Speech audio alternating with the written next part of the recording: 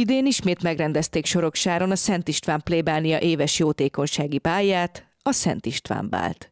A rendezvénynek az előző évekhez hasonlóan a Török Flóris általános iskola adott otthont, hogy a közösség egy jó hangulatú, előadásokkal tűzdelt este keretében gyűjtsön például a templom nyári táborának finanszírozására. A tizedik Szent István bálon is túl vagyunk ma, és éppen nagyjából most fog kezdődni az egész. Több mint tíz éve vesznek részt benne ön is, és a felekezett tagjai is. Milyen népszerűségnek örvend ez a rendezvény? Hát ez a rendezvény plébániáknak a nagy felnőtt bája, és hát elég népszerű. Nagy érték ennek a bálunknak az, hogy hát minden korosztály részt vesz benne, és így együtt tud szórakozni a, a plébánia. Tehát itt van a gimnazistáink, egyetemistáink, dolgozó fiatalok, felnőttek, illetve még a nyugdíjasok közül is, amelyik úgy érzi, hogy még idevaló. Ön nem a szervezők közül belül, de nyilván nagyon aktív részes ennek a rendezvénynek. Hogy lehet olyan rendezvényt tartani, hogy minden korosztálynak tudjon valamit adni? Valahogy a plébániánk ilyen családias, mindig is erre törekedtünk, hogy, hogy családközpontú legyen a plébániánk, és hát itt nőttek fel a gyerekek, most már 20 éve építkezünk így ebben a koncepcióban, és hát a felnőtt gyerekek azok, azok, azok még, még így a családdal együtt is szívesen vannak. Az elmúlt tíz évben ö, stagnált a részvevők száma, vagy növekedett? Volt benne valamilyen változás? Nem, nem, hát mindig népszerű volt, sajnos a hely az, az nem túl nagy, úgyhogy kényszerből vagyunk itt a Törökföld általános iskolában. Mondhatjuk azt, hogy kinőtték? Hát igen, bőven kinőttük ezt a helyet, és hát saját termet is építünk, reméljük, hogy jövőre már, már ott tarthatjuk. És mennyi rendezvényük van egy évben, és esetleg van-e még többre igény? Mik a visszajelzések? Hát sokféle rendezvényünk van, ugye hát ez egy plébánia, katolikus plébánia, úgyhogy sokféle hit, hitélettel kapcsolatos rendezvényünk van, lelki gyakorlatok, előadások, különböző ilyen lelki jellegű programok, fiatalokkal, gyerekekkel, hétvégék, nyári táborok, felnőtteknek, különböző korosztályoknak, úgyhogy sokféle programunk van. Ilyenkor, farsankor van ez a, ez a nagy bálunk, ezen kívül van egy ifjúsági bálunk, ami a jövő héten lesz. Erre a környező plébániákról is várjuk a fiatalokat, az Erzsébeti főplébániáról is bekapcsolódtak az ottani fiatalok, de, de a Lőrincről is több plébániáról. Ezen kívül van családos farsangunk, ahol, ahol jelmezes produkciók is, családos produkciók is jelen vannak, illetve külön a felső tagozatosainkkal is egy ilyen farsangi bulit szerveznek az őket vezető fiatalok. Jó ideje gyakorolja a hivatását, és mindenféle generációval, korosztályjal találkozik. Mit tapasztal, mennyiben változott a hit szerepe napjainkban? Én úgy gondolom, hogy egyre nagyobb elköteleződésre van szükség manapság. Nagyon sokféle, nagyon színes a világ a fiataloké különösen és hát azok vannak jelen az egyházban, akik hát valóban komolyan gondolják a hitüket, és egy, egy belső elhívással rendelkeznek. És manapság másként kell szólni a mai generációhoz, mint mondjuk korábban? Ez változott? Mit tapasztal? Hát hogy ne, igen, másképpen kell szólni, hogy hogyan azt keresgéljük a lehetőségeket, az utakat, módokat, de mind, mind, mindenképpen. Tehát azt veszem észre, hogy hogy már öt évenként is kicserélődnek a generációk, és, és más, más a beállítottságuk, mással lehet őket megszólítani, más az életmódjuk egyszerűen, úgyhogy folyamatosan követni kell ezt a, ezt a változást. És a mai világ mennyiben nehezíti meg a dolgát, hiszen nagyon sokszor, nyilván ez egy nagyon hosszú téma, és hosszasan lehetne taglalni, nagyon sokszor a mai világban az elért sikerek útja nem feltétlenül azt igazolja vissza, hogy az igaz út, a követendő. Tudomásul kell venni, hogy ebben a világban élünk, nagyon sok értéke, előnye is van ennek a mai világnak, hogy ez a kommunikációt egyszerűen fel kell használni a fiatalokkal és a mindenkivel való kommunikációra, például hogy az internet és annak az mindenféle áldás az, az jelen van, és hát sok szervezést inkább megkönnyít, mint megnehezítene. Általában egy-egy ilyen rendezvény után milyen sokáig hallja a visszhangokat, hogy milyen jó volt, és mikor lesz a következő?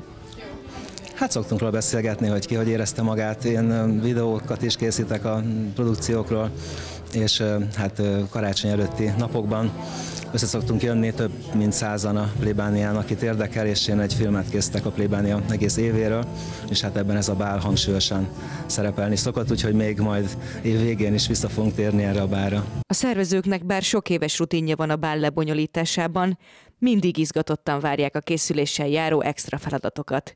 Ilyenkor ugyanis ők is, és a fellépők is kiszakadhatnak a hétköznapok szürkeségéből, és más oldalukról is megismerhetik azokat, akikkel egy gyülekezetbe járnak. A minden igaz, idén ez a 13. alkalom, hogy megszervezték ezt a bált, és ön a kezdetektől fogva aktív szervezője.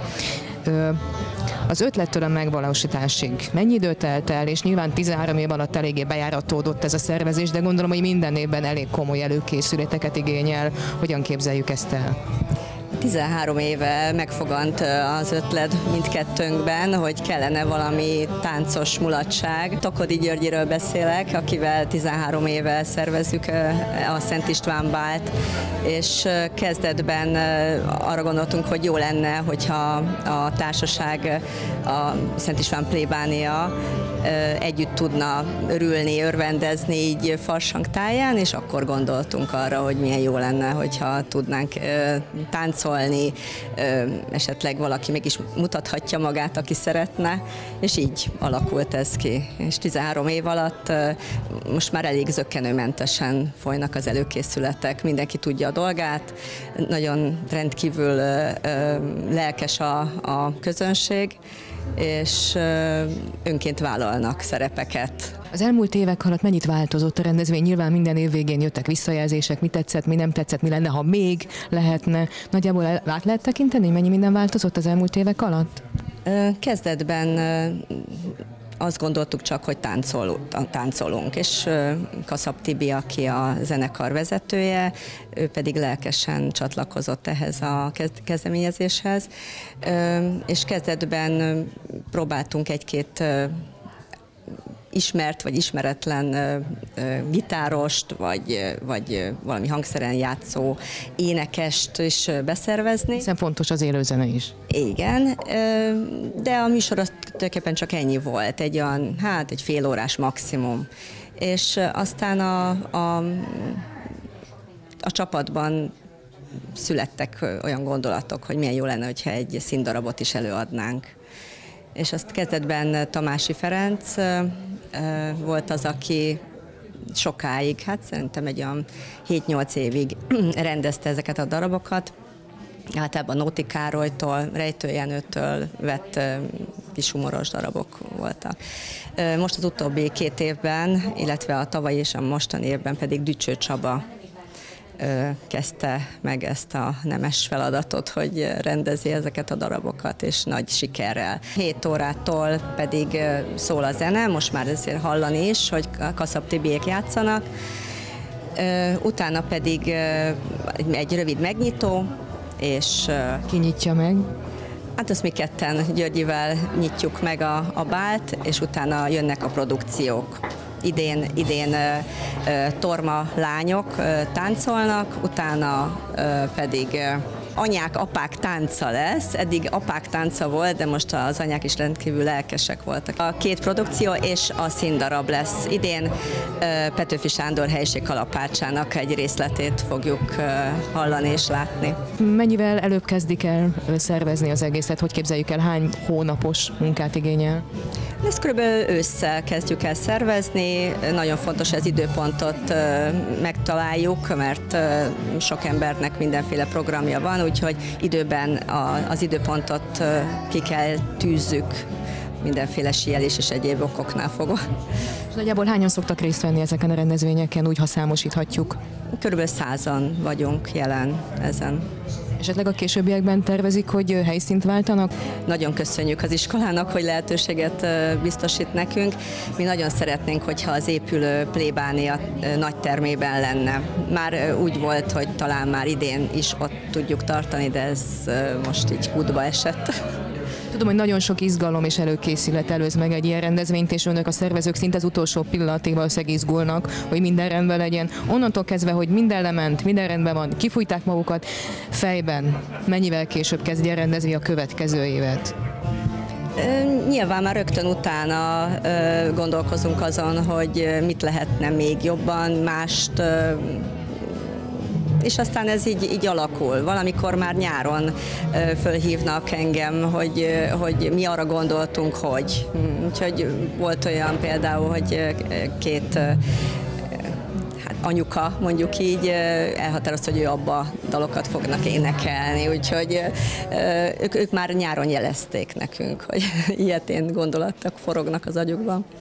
Ha inspirációra van szükség, a felnőttek nem félnek gyermekeikből ihletet meríteni, és láthatóan sokszor csak ez az apró lökés hiányzik, hogy valami új és maradandó születhessen. A másik szervezővel állunk szemben, és ön például többek között arról tud mesélni, hogy hogyan alakult ki a táncos zenés része ennek a rendezvénynek, illetve a színház. Hát az én lányom 7 éves kora óta jazzbalettozik Fási Ildikó tánccsoportjában a Csiliben, és ő mindig is a barátnőivel évek óta előadott egy kisebb, kisebb táncot, és aztán itt a, a korabeli lányokat összefogta, és akkor ilyen lánytáncot minden évben előadtak és aztán egyszer csak az egyik kislánynak jött az ötlete, hogy ő megkéri az apukáját, és szerintem mit szólna a többi apuka, hogy beállnának egy ilyen táncra, és hát először azt mondtam, hogy szó se lehet róla, hát ilyen, ilyen, biztos, hogy nem vállalják.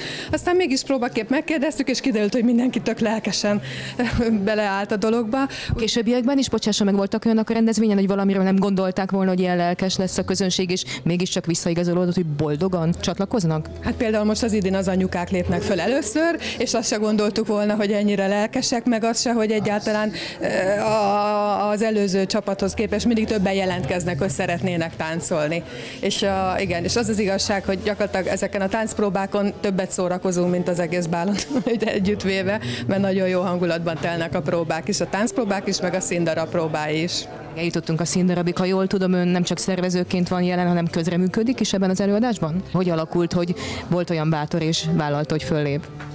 Hát azt úgy, hogy megkértek, mindig van egy karácsony ünnepségünk, így évvége fele, és akkor egyszer csak az egyik ilyen decemberi karácsony ünnepségen a, a, a későbbi rendező megkérdezte, hogy na, akkor szeretnénk -e egy színdarabba játszani, és hát persze először azt mondtam, hogy szó se lehet róla, de aztán, aztán meg, meggyőztek, és hát akkor a sikere lett annak az első színdarabnak, hogy azóta minden évben mindenki ezt várja a színdarabot, és ezt kérdezik már hónapokkal előtt, hogy na lesz-e színdarab, mi lesz a színdarab, és ezt nagy sikere szokott mindig lenni. Most hanyadik alkalommal lép föl?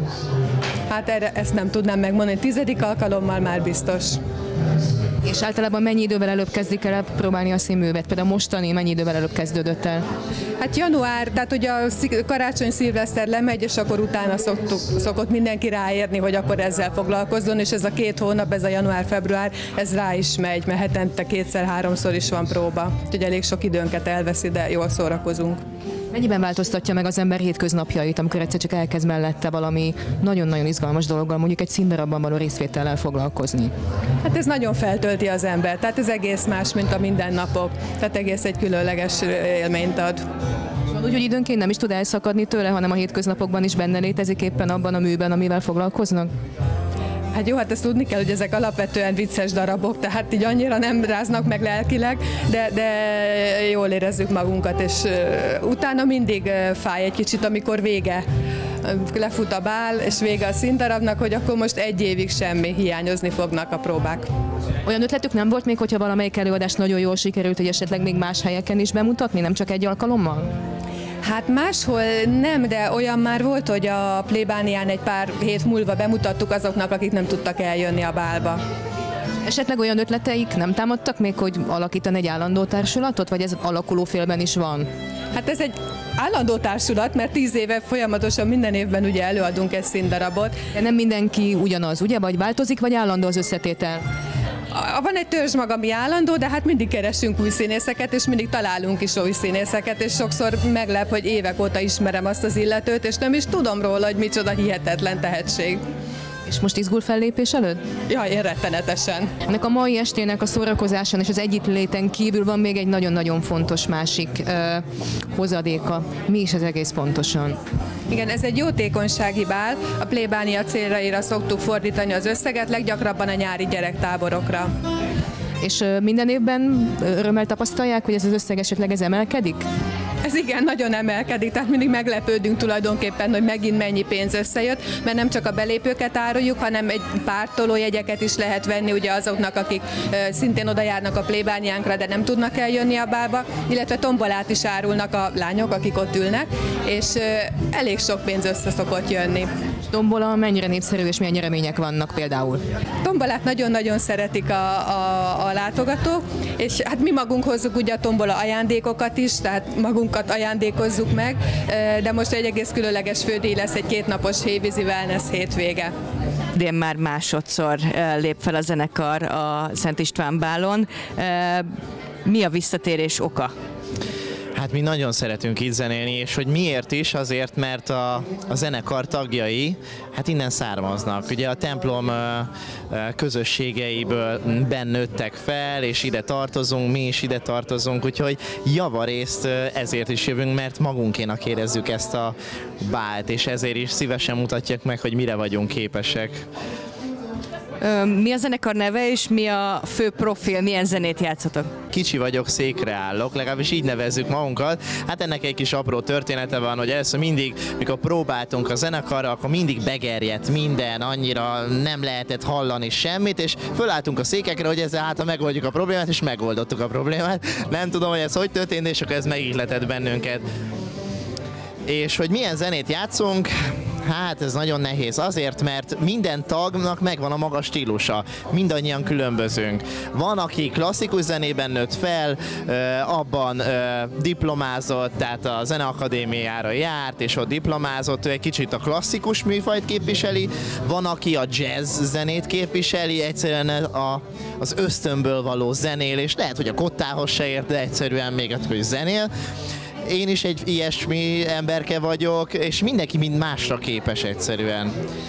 Úgyhogy Először próbálkoztunk egy kicsit ilyen alternatívabb műfajokkal, kicsit poposabbra vettük, most pedig mondták, hogy kifejezetten táncoló zenét kérnek, és akkor ezért most rokkosabbra vettük a figurát, egy kicsit visszamentünk a 70-80-as évekbe, és most így próbáljuk meg a, a közönségnek szolgáltatni a zenét. Saját szerzeményeket játszotok a bál folyamán?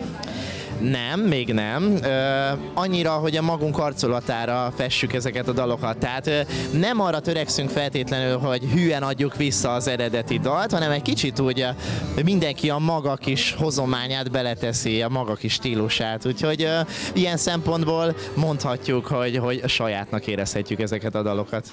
Mennyit fogtok zenélni, és mióta zenél együtt a zenekar ebben a felállásban? Hát kifejezetten most picit többre készültünk, mint tavalyi év folyamán. Tavaly csak 4-5 számot adtunk elő, inkább előadás volt az a tavalyi, most pedig, ahogy említettem már, a táncolás a fő profilunk, hogy kicsit megtáncoltassuk a népet. Hát egy körülbelül egy 40-50 percre számíthat a közönség, most egy 9-10 számról van szó. Körülbelül egy két éve most már együtt vagyunk, és zenélünk. Az előző, amikor még koncerteztünk korábban, akkor nagyon sok időt igénybe vett a készülés. Volt, hogy egy éven keresztül készültünk, és utána volt a koncert. Most viszont nagyon hamar összehoztuk, tehát látszik, hogy összeszokott a csapat, úgyhogy most egy egy hónap alatt pöpecre összehoztuk a zenéket. Mi a következő ugródeszka, hogyha vége van a bálnak? Hova mentek legközelebb zenélni? Ha ez jól sikerül, akkor szeretnénk majd Budapesten zenélni egyet, szeretnénk majd Szombathelyen, mert már egy-ketten már oda valósiak vagyunk, úgyhogy hát megpróbálunk kicsit szervezni egy-két koncertet. Nem ez az első alkalom, hogy ön rendezőként szerepel ezeken a bálokon. Melyik volt az első alkalom, és hogyan került kapcsolatba a színházzal úgy, hogy azonnal rendezni is kezdett? A rendezvényeinken mindig volt igény arra, hogy a különféle tehetségek valamilyen módon megmutassák magukat, megmutassák azt, hogy ki mit tud. Vannak köztünk hangszeren játszók, nagyon szépen szavalók, éneklők, és ezért született az az elhatározás, hogy olyan darabokat keresünk, amiben hozzáértő szereplőknek a megfelelő tudását ki tudjuk bontakoztatni, bemutatjuk. Az ön kapcsolata a színházzal honnantól datálódik? Hát ott kezdődött, hogy egyszer beugró helyettesítő rendező voltam, készítettünk egy nagyon szép, vidám darabot, ami, ami hát igen nagy siker volt, könnyű volt itt a kollégákkal dolgozni, mindenki segített, mindenki jött az ötleteivel, és hát miután itt ez így ilyen családias rendezvény, itt évközben is hétről hétre együtt vagyunk, találkozunk, így nagyon érdekes volt az, hogy, hogy egy, egy egészen más oldaláról ismert, ismertük meg azt, akit éppen táncol, vagy énekel, vagy, vagy éppen prózát mond. Megmondhatjuk azt, hogy a közösség tagjainak az egymáshoz való viszonyát is megváltoztatták az ilyenfajta együttlétek? Hát hogy ne, hiszen ez is volt a lényeg ebben. Tehát az, hogy, hogy mi nem, nem úgy megyünk el mondjuk a, a, a templomból haza, hogy az utcán már csak egy idegent látunk, hanem tudjuk, hogy milyen jó humora van, hogy nem is gondoltuk volna, hogy ilyen jól játszik valami, mondjuk gitáron például, és és hát igény van arra, hogy legközelebb is legyen együtt, mondjuk egy, egy, egy nyári hittanos táborban, vagy, egy, vagy más valamilyen közösségi rendezvényen, és oda már úgy érkezünk, hogy tudjuk róla, hogy tőle várhatunk valamit, és hát azért ez, ez meg is érkezik ilyenkor.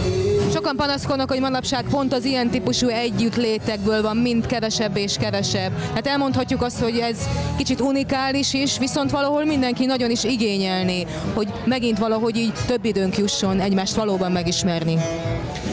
Hát remélem, hogy ez most nem a templom reklámjának a helye, de a templom az igazából nem egy épület, nem egy építmény, hanem az egy közösség. Na most egy közösségre az a jellemző, hogy minden helyzetben együtt van, tehát nagyon-nagyon nem értek egyet vele, és hazugságnak tartom azt, hogy hinni a templomba kell, itt nem erről van most szó.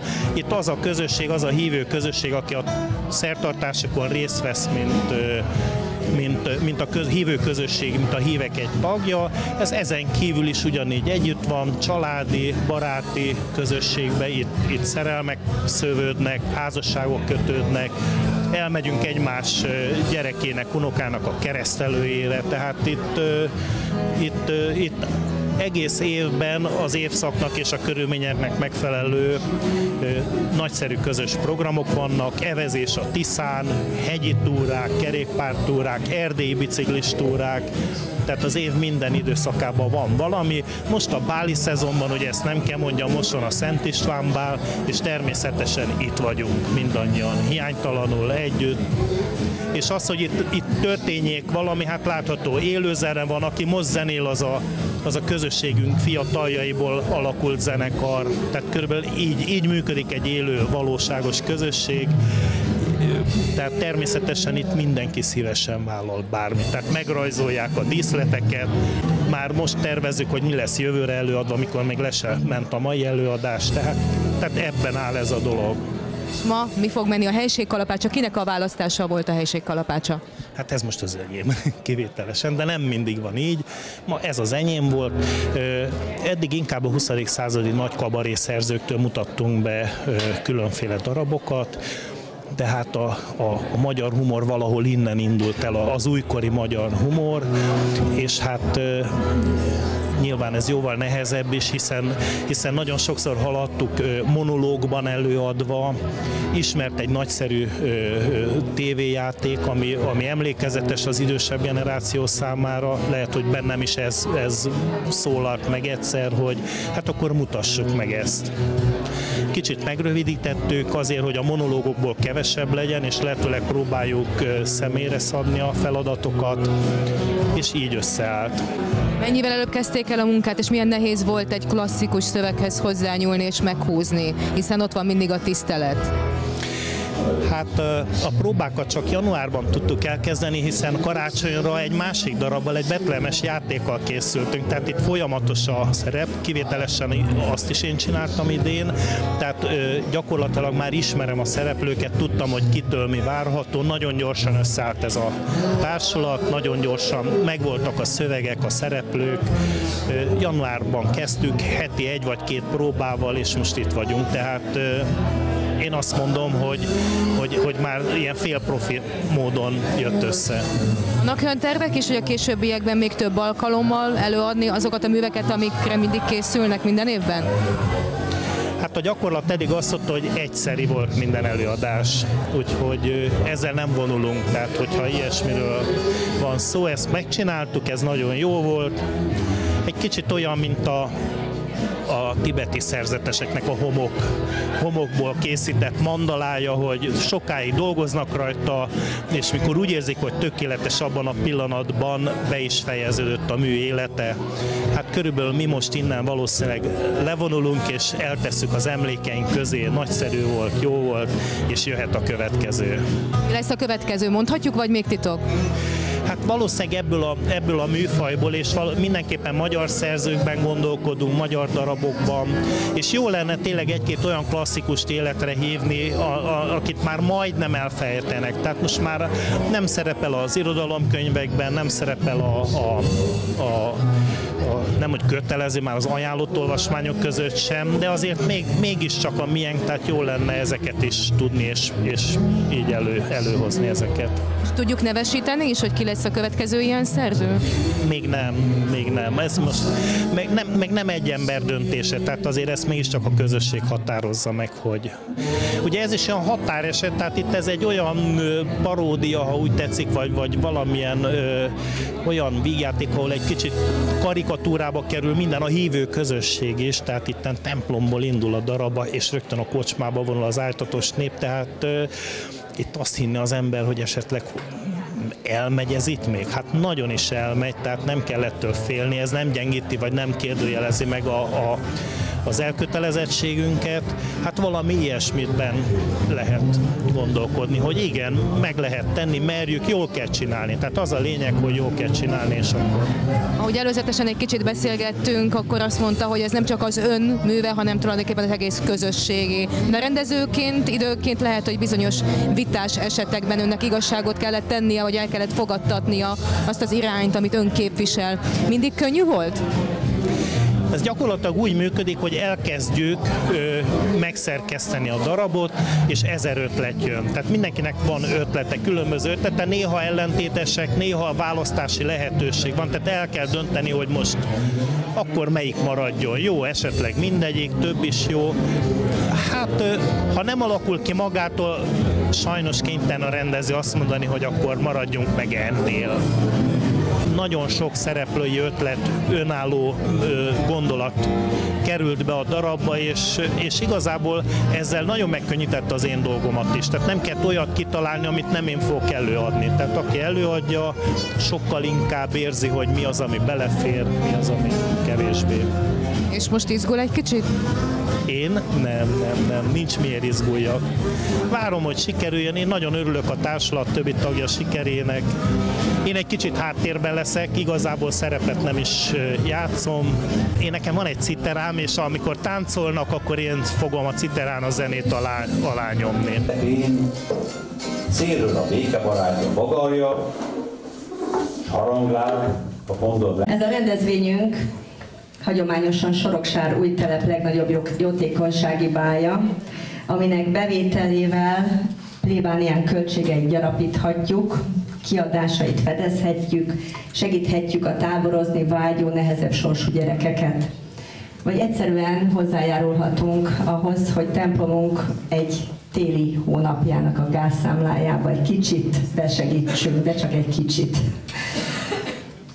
Kérjük tehát, hogy nyissák meg pénztárcáikat, és vásároljanak minél, tom, minél több tombola jegyet, hogy minél több anyagi hozzájárulással tudjuk segíteni a plébániánkat. Ez egy tényleg egy olyan jótékonysági este, ahol a szervezőktől kezdve mindenki fizet belépődíjat, Ö, úgyhogy ennél, ennél nagyobb jótékonysági estét nem is ismerek. Már csak azért is érdemes venni tombola egyet, mert idén nagyon-nagyon sok felajánlás érkezett, majd meglátjuk a, azt a bizonyos asztalt, ami ott lakozik a festett ház mögött, mert azon helyezkednek el a tombola tárgyak. Még nem láthatjuk, mert rengeteg szép program lesz itt előttünk. Nagyon sokan ismét megmutathatják magukat ezen a bálon. Először is a torma lányokat fogjuk látni, akik saját koreográfiával rendelkező táncot fognak bemutatni. Utána pedig mondhatjuk, hogy hagyományosan egy felnőtt táncot láthatunk, Eddig még csak úgy apostrofáltuk, hogy az apák tánca, de valamiért talán megirigyelték az anyák is, hogy ők is részesei szeretnének lenni ennek a bálnak, úgyhogy most az anyák és apák tánca lesz. A harmadik produkciónk pedig nem más lesz, mint Petőfi Sándor helység kalapácsának egy részlete, amit Dücső Csaba rendez ezúttal. Van egy kabala állatunk idén, meg is érkezett.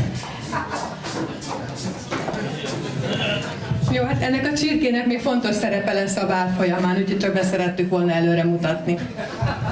Szóval most egy csirke lesz a bálnak a szimbóluma. A gyülekezet a jól sikerült este után jövőre végre szeretné a plébánia új termében megtartani a rendezvényt, hogy még több érdeklődőnek jusson hely.